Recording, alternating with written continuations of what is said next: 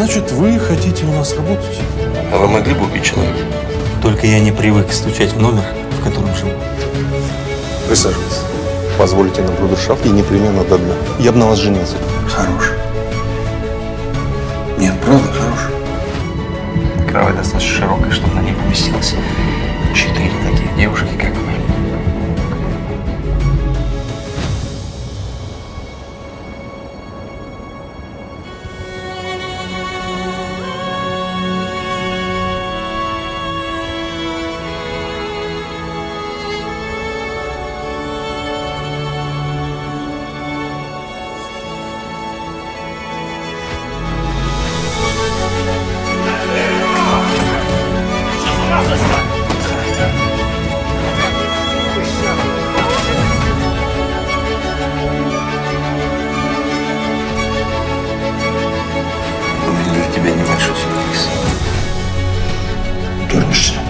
Ты знаешь, что будет, если я спущу курок.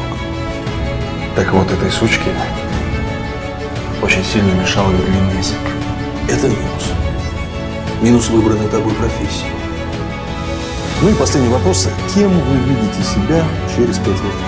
Эти диагнозы надо проверять. Вы знаете, к нам каждый первый с таким приходит. Извинения приняты, но я привык обедать один, так что извините. Отсюда. Как вы смеете предлагать мне деньги? Но это не самое важное в этой жизни. Понимаешь, о чем? Если честно, я уже поставил на вас крест. Посмотри на меня. Разве я способен на убийство?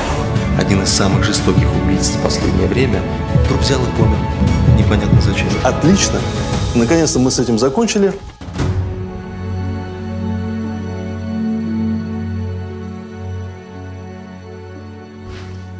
Это тонкое дело. Психология, понимаете?